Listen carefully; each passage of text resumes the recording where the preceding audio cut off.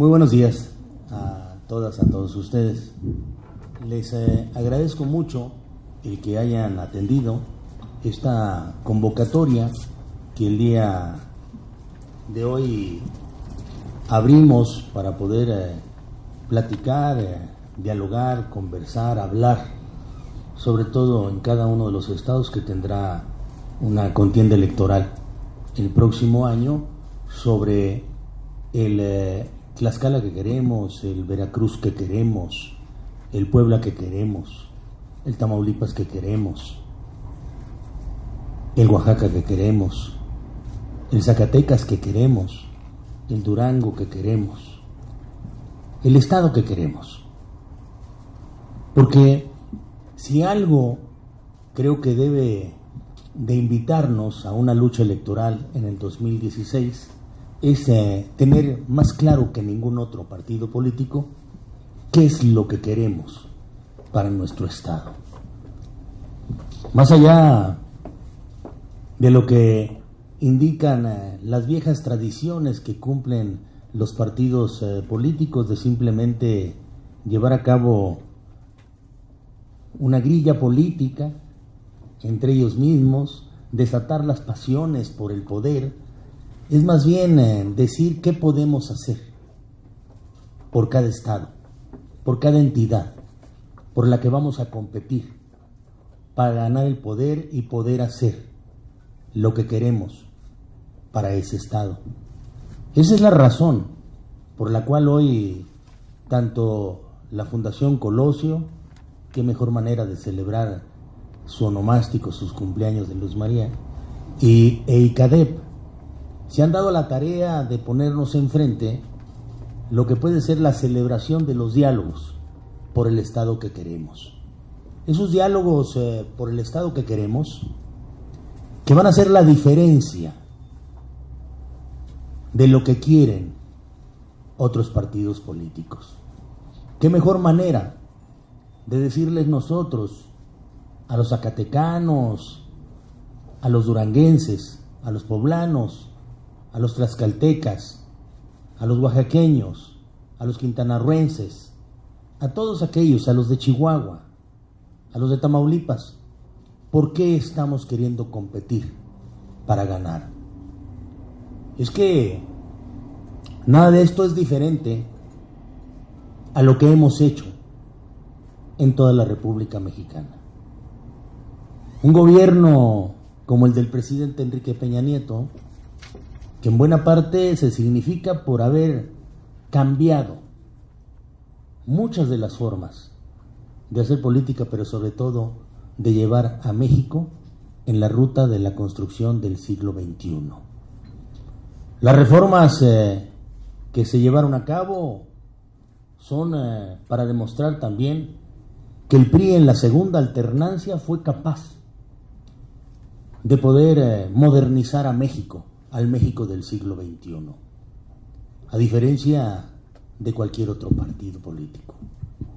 Por ello es que hoy la Fundación Colosio e ICADEP abren eh, con esta convocatoria la necesidad de poder eh, llevar a la discusión en cada una de las entidades qué es lo que quieren los habitantes de las mismas. Más allá, insisto, de las pasiones de los hombres, de las mujeres, de los nombres, las ideas. Las ideas de cómo construir más y mejores beneficios para los mexicanos que habitan en esos estados. Eso habla de un PRI distinto a otros partidos políticos. Nosotros eh, atendemos en tiempo y forma lo que es el inicio del proceso electoral. Porque ustedes, y aquí se encuentran presidentes, secretarios generales, presidentas, secretarios generales del PRI en las 13 entidades, como también los delegados o delegadas del partido en las mismas. ¿Cómo vamos a abrir estos diálogos? Saben ellos perfectamente bien que los tiempos legales en la mayoría de los estados ya empezaron. Esto lo, señala la ley. en cada una de las entidades. Pero los tiempos de los partidos políticos se han quedado todavía detenidos simplemente en la supuesta evaluación o selección de candidatas o candidatos a los distintos puestos de elección popular sin haber eh, dado vida a una idea de la razón por la cual debemos de competir. Y la razón de la competencia y la idea está en el diálogo, en la conversación, en que cada uno de los habitantes interesados en la elección del gobierno de su estado el próximo año digan qué es lo que quieren y hacia dónde nos tenemos que dirigir. Eso ustedes lo entienden mejor que nadie. Son las plataformas electorales, esas que distinguen a un partido sobre otro. Cuando nos olvidamos de plasmar ideas es cuando empiezan las confusiones de muchos de los partidos que solamente buscan alianzas para ganar el poder aunque después no puedan hacer un buen gobierno. Así hemos visto que izquierdas y derechas confundidas simplemente en el propósito del poder, terminan por liquidar sus ideas originales que le dieron vida.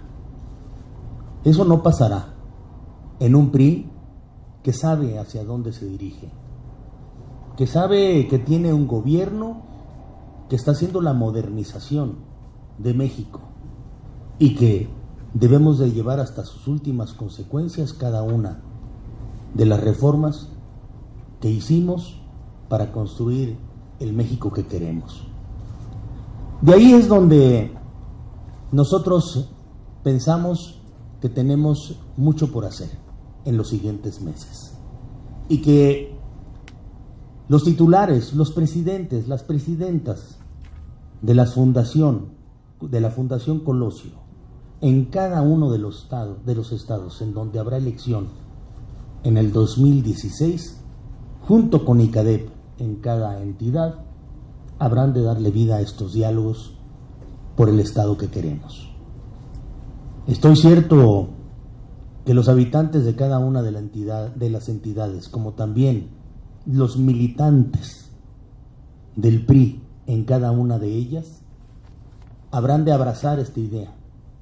Esta idea con la misma fuerza con la que nosotros resolvimos llevar al PRI a la segunda alternancia en México para construir las reformas que queríamos, para que el país pudiera avanzar en la construcción de más espacios para el desarrollo y un desarrollo para más empleo para los mexicanos.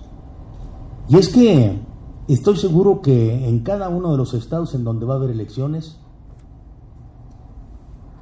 la idea más poderosa es cómo construir un eh, desarrollo económico que disminuya la desigualdad y la pobreza.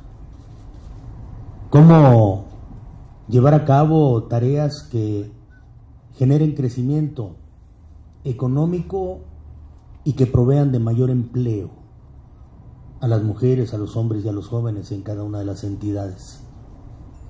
¿De qué forma vamos a fortalecer el régimen de justicia y seguridad pública para dar seguridad a las familias de los mexicanos.